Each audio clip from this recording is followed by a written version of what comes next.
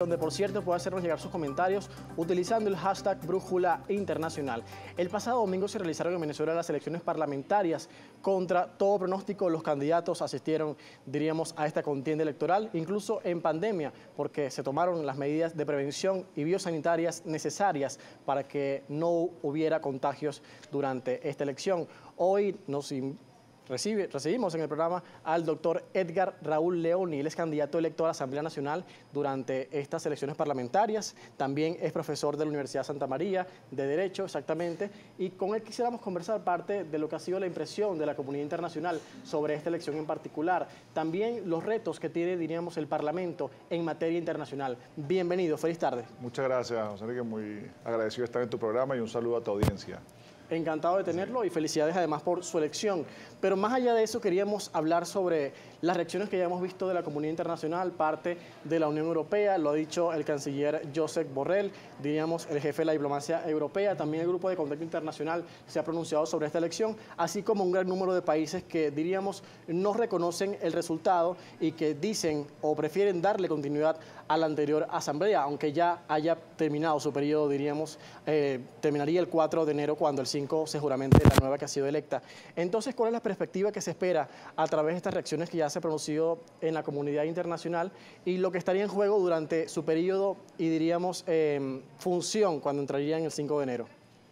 Bueno, fíjate, lo primero que hay que, que hay que creo que acotar es que Venezuela es un país muy particular y donde aquí nadie se aburre. Aquí estamos en una constante eh, generación de situaciones nuevas y de noticias y bueno, por supuesto el evento electoral del 6 de diciembre no pasa desapercibido. Eh, en, lo, eh, en, lo, personal, entiendo que existe todavía de parte de algunos grupos de la comunidad internacional y va a, seguir existiendo pues esta, esta postura a, a, no reconocer, pero el tiempo nos va, nos va a ir dando la razón en el sentido que primero la Constitución establece lo que fue el, evento electoral y cuando culmina pues la, asamblea actual, como tú bien lo has dicho, el, 4 de enero. Pero por otro lado, aquí hay que analizar con mucha, con mucha precisión qué fue lo que verdaderamente ocurrió el 6 de enero y qué es lo que está ocurriendo ahora con esta otra postura. Vamos a hacer un corte, vamos a solucionar algún problema técnico y ya regresamos con más de Brújula Internacional. No se aparten, conversamos con Edgar Raúl Leone. Regresamos con más de Brújula Internacional. Vamos a conversar con el doctor Edgar Raúl León, diputado electo a la Asamblea Nacional y también profesor de Derecho en la Universidad Santa María. Se han realizado unas elecciones parlamentarias en Venezuela el pasado 6 de diciembre, diríamos con una extensión bastante importante que roza el 70%, exactamente el 69,5%. La comunidad internacional ya ha reaccionado y varias pues han sido las posturas que se han expuesto.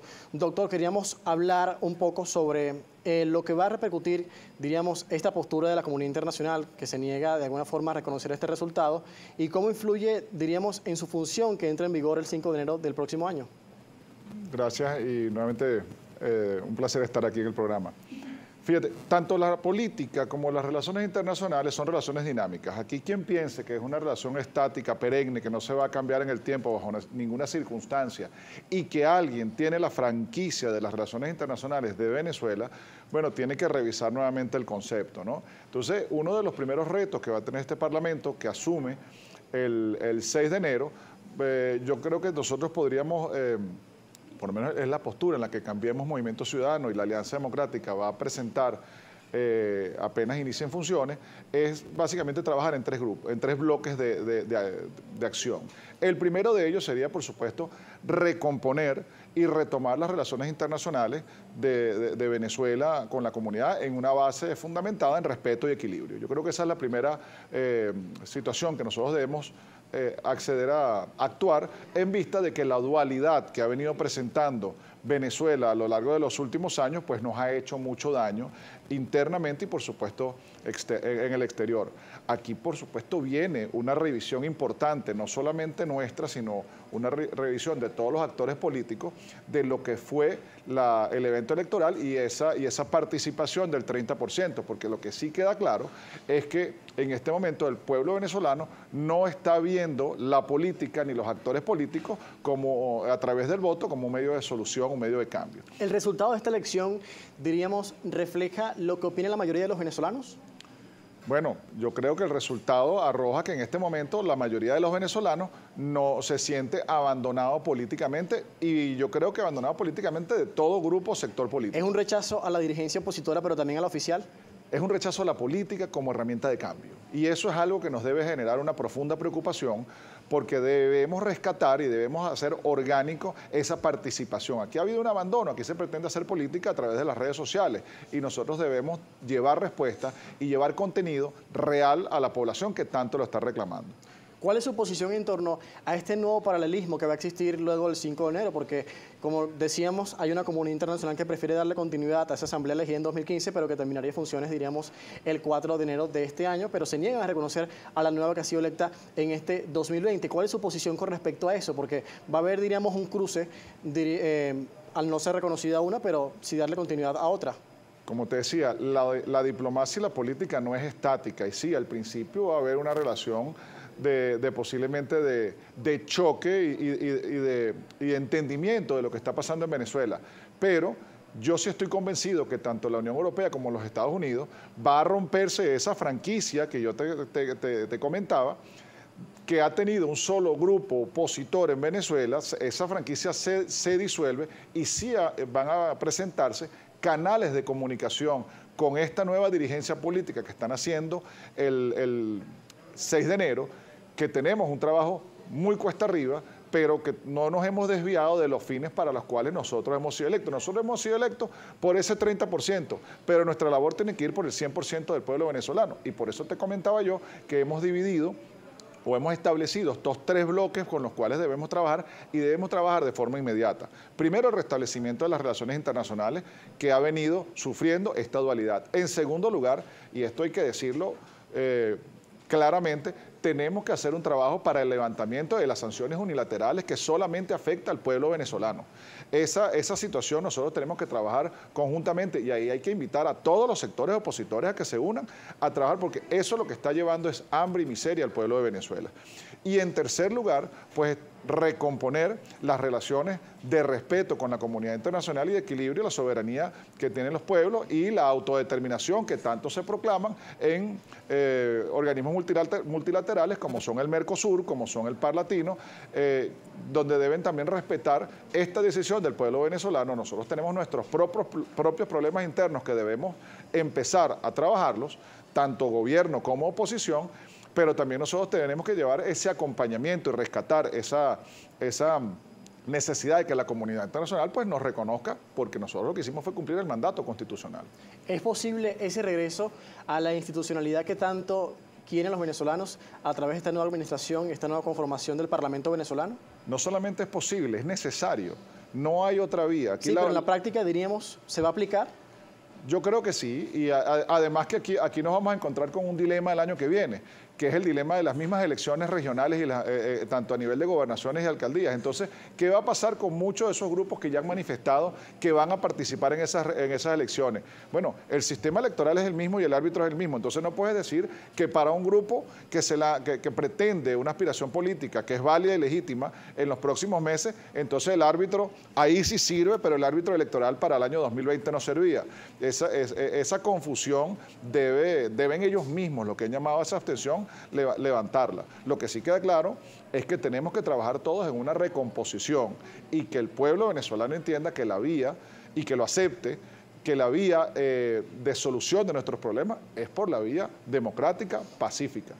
Usted que estuvo en esta elección como candidato y pues ha resultado electo, por lo que lo felicitamos, pero a pesar de ser de oposición, que participó también con esta nueva conformación del Consejo Nacional Electoral, eh, ¿cómo vio la elección en cuanto a eso? También estuvieron presentes importantes veedores internacionales, como así lo ha llamado el ente comicial, pero desde su punto de vista, ¿cómo estuvo, diríamos, conformada y articulada esta elección?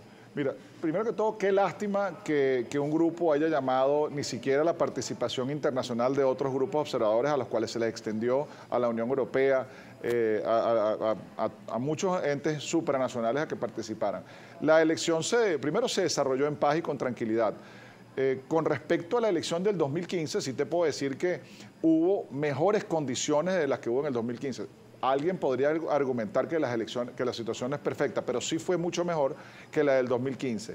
Eh, nosotros estuvimos monitoreando con nuestros testigos y podemos validar que efectivamente la participación estuvo alrededor del 30% y que sí esperábamos más, pero bueno, no hubo la posibilidad de motivar y yo tampoco llamaría a que es que hubo una, una eh, victoria por parte de quienes llamaron la abstención. Aquí sencillamente lo que debemos reflexionar es que el pueblo no sintió en este momento a la política como un instrumento de cambio.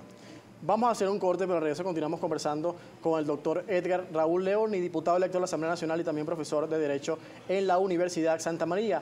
Al regreso es importante acotar y es, eh, diríamos, menester hablar sobre los retos diplomáticos en la política exterior de Venezuela, por supuesto, a nivel internacional, el restablecimiento quizás de unas relaciones más duraderas y que sean útiles realmente en la práctica para el pueblo venezolano. Vamos a hacer la pausa y ya volvemos con más. Continuamos con más de Brújula Internacional. Conversamos la tarde de hoy con el doctor Edgar Raúl Leoni, diputado electo a la Asamblea Nacional, también profesor de la Cátedra de Derecho en la Universidad Santa María. Hablamos sobre la repercusión que ha tenido esta elección parlamentaria ocurrida el domingo 6 de diciembre, también lo que serían los planes de esta Asamblea Nacional y los retos que tiene en materia internacional. Hemos visto que Estados Unidos no ha reconocido tampoco el resultado, pero estamos hablando, diríamos, de la administración presente que va a salir el 20 de enero. Y se avisora a una administración de Biden que a pesar de que inició las sanciones, está dando muestras de que podría comenzar un proceso de revisión de estas sanciones unilaterales contra Venezuela. ¿Usted ven eso posible y ven una oportunidad también de entablar un diálogo directo con Estados Unidos? No solamente lo vemos posible, sino que desde hace tiempo ya han habido tendiéndose las líneas de comunicación para, para entender a otro sector de la oposición que nosotros también tenemos una forma de ver esta, esta política tanto nacional como internacional. Es curioso el tema de los Estados Unidos y cómo los Estados Unidos pueda determinar o pueda, tomar una postura con respecto a la, a la elección venezolana cuando los mismos Estados Unidos está pasando por lo que es un momento bastante delicado a nivel electoral en todo lo que ha sido el, presidente saliente Trump diciendo que, pues, que se cometieron fraudes. Entonces, nadie tiene aquí una varita mágica para decir qué, qué proceso o qué interno eh, de, los países tienen la razón o tienen un esquema. Eh, que, se, que sea aceptado globalmente. Y así como el caso de los Estados Unidos, tenemos el caso reciente de Bolivia e incluso el caso de Bielorrusia. ¿Qué termina pasando? Pues en los mismos países internamente se están recomponiendo de acorde con sus procesos eh, electorales internos. Yo sí creo que, que, y ya lo han anunciado, pues que va a haber una revisión de esta política. Ha sido una política errática que ha afectado únicamente al pueblo de Venezuela. No, no, no, no puede haber una una justificación a que las personas que no tienen gasolina, que hoy en día están haciendo colas para la gasolina, gente que no tiene gas, que no tiene diésel, que no tiene eh, electricidad, que vayas a argumentarse de alguna manera que eso ha sido positivo eh, para el país. Ya no solamente es en Venezuela, a lo largo de la historia, desde Corea del Norte cuando se impusieron las primeras sanciones, Cuba, que es otro ejemplo, eh, Irán, tú, ves que eso no depone gobiernos. Entonces, la, administración Biden viene con una, eh, es la percepción que tenemos, con una, con una visión que no va a ser una visión entreguista, pero sí va a ser una revisión muy profunda de cuán efectiva han sido las sanciones que han impuesto los Estados Unidos, que además sigue más o menos el mismo parámetro de la Unión Europea. Eso es lo que diríamos se avisora desde su punto de vista. Y diríamos, en caso de que exista un diálogo, eh, ¿cuál es el llamado que haría o cuál es la perspectiva que se espera de, ese diálogo? Porque evidentemente ya han existido varios procesos de diálogo, incluso con, con Oslo, con, con Noruega en este caso, y pues no ha resultado nada finalmente a favor de los venezolanos o algo concreto entre oposición y chavismo. ¿Es posible que se retome un diálogo con alguna de estas mediaciones internacionales? Totalmente, el diálogo nunca puede acabarse. Yo siempre he sido partidario y nosotros en, en hemos sido partidarios de que la política tiene dos dos palabras que son fundamentales, que son diálogo y negociación, y esto tiene que seguir por el bienestar del pueblo venezolano. Incluso ayer el presidente Maduro anunció la posibilidad de volver a la mesa de Noruega. Bueno, nosotros en Cambiemos, en el plan que estamos presentando para los próximos 100 días después de instalada la Asamblea Nacional, estamos dibujando lo que sería un esquema de acompañamiento a través del diálogo internacional, porque debemos, deben la, comunidad internacional, en vez de estar sancionándonos, debe estar estableciendo la mesa para nosotros resolver un conflicto profundo interno de, de quiebre político interno y para eso precisamente va a servir posiblemente la mesa de, Noruega. Entonces nosotros estamos abiertos a cualquier escenario de diálogo para superar esta crisis que tenemos que a quien termina afectando al pueblo de Venezuela. Aparte, por supuesto, de la revisión de las sanciones, lo que tiene que ver con la crisis política venezolana que está afectando a los países hace varios años, también están otros temas de política exterior, de retos que tiene el Parlamento venezolano también por mediar.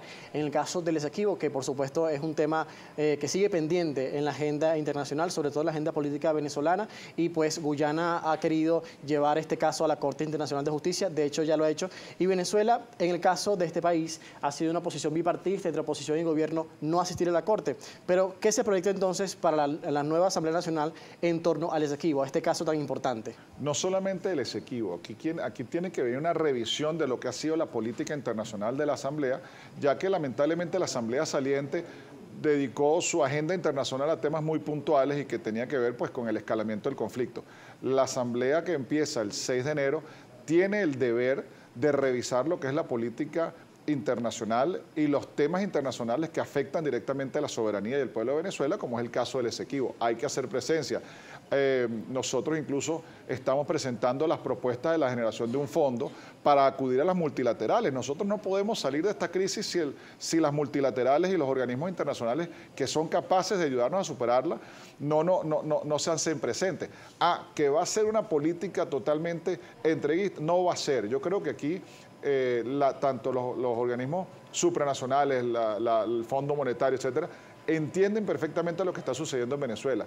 Quizá a partir de esta asamblea lo que va a haber es un nuevo interlocutor de otra forma de ver la política y la solución a los problemas internos y poder acceder a esas formas de financiamiento que a quien de una manera eh, bien administrada, de una manera transparente y de una manera organizada, nosotros podemos ayudar a que, se, que se solucionen problemas importantes. Te recuerdo, hace unos meses se discutía en la Corporación Andina de Fomento el otorgamiento de un crédito para la solución del, problema eléctrico, sobre todo en el centro occidente del país que tanto ha sufrido eh, los apagones y tanto ha sufrido eh, la escasez eléctrica.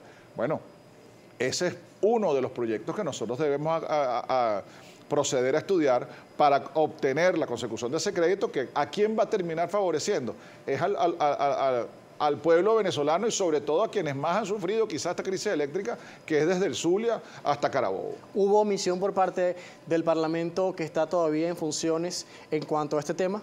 Yo creo que hubo mezquindad al respecto porque en algún momento no se, no se consideró la administración o la, la firma de ese crédito porque se argumentaba que era darle sustentabilidad, sustentabilidad al gobierno de Maduro.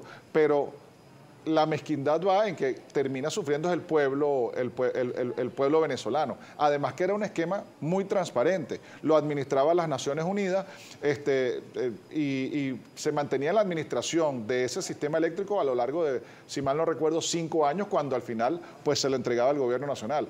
¿Quiénes sufren las consecuencias de estos cinco años? Es el pueblo de Venezuela. Entonces, ese tipo de créditos tenemos que retomar esa discusión para, aliviar a partir del año que viene esta problemática importante que afecta al pueblo venezolano. Antes de usted ser candidato y también, por supuesto, electo, pudo ver desde la academia lo que se hacía en, en, el Parlamento venezolano, la gestión de los diputados que estaban en funciones. Más allá de eso, ¿cree que se logró algo? ¿Cree que se pudo concretar, diríamos, un hecho importante para los venezolanos en estos cinco años de Asamblea Nacional? A mí no me gustaría ser crítico, el crítico pesimista. Yo prefiero, yo prefiero hacer un análisis crítico de los puntos que fueron positivos. Eh, quizá mal manejados en algún momento, pero positivos. Y es que Venezuela entra en la agenda internacional. Entonces hay más disposición. Nadie puede negarse que, que Europa tiene una posición hoy en día, pero Europa puede revisar esa posición y el hecho de que estemos en la agenda europea nos permite la posibilidad de abrir la puerta y sentarnos y explicar cómo nosotros vemos el conflicto venezolano y cómo ellos pueden ser parte de la solución.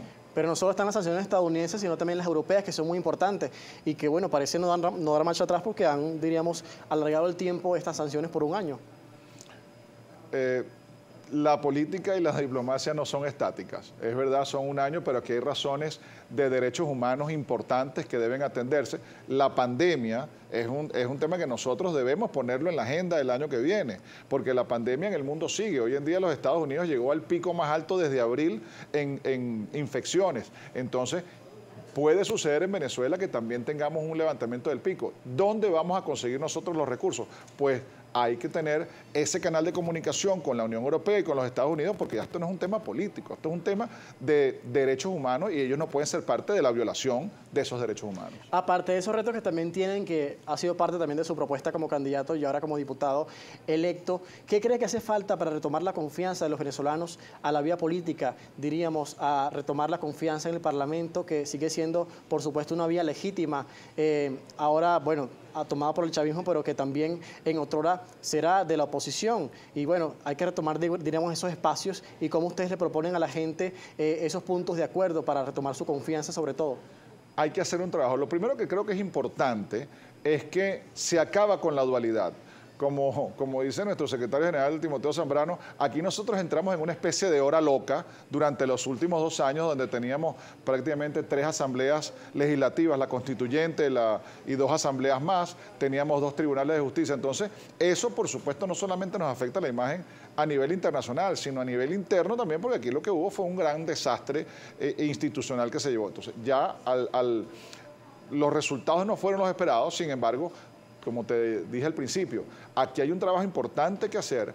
Tanto el gobierno tiene que revisarse porque el gobierno tuvo un retroceso importante en la cantidad de votos. Hay 8 millones de carnetizados que no confían y no les importa si sus beneficios eh, son perjudicados por la no asistencia al, voto, pero también en la oposición debemos hacer esa revisión y rescatar la política y el voto como instrumento de cambio. Y ese es el trabajo que, que tenemos todos los factores que convivimos en la alianza de hacer esa, ese llamado orgánico y no a través de redes sociales y formas eh, no personales de llevar a la gente al, entendimiento de que nosotros podemos ser un, un elemento de mejora siempre y cuando también tengamos el apoyo del pueblo venezolano. Ha sido un gusto conversar con usted la tarde de hoy. Estábamos conversando con Edgar Raúl Leone, diputado electo a la Asamblea Nacional, también profesor de Derecho en la Universidad de Santa María. Puntos importantes como la política exterior y los retos diplomáticos que tiene la nueva Asamblea Nacional, diríamos, en pie.